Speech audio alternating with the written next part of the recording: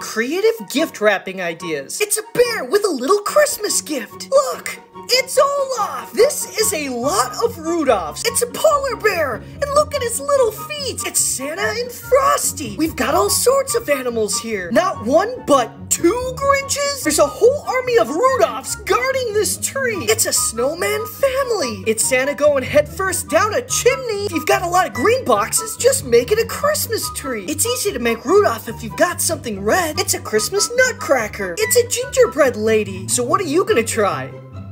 Follow for more.